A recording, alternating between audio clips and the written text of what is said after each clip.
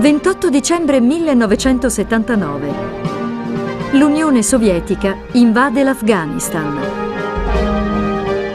L'obiettivo di Brezhnev è quello di insediare a Kabul un regime comunista fedele a Mosca.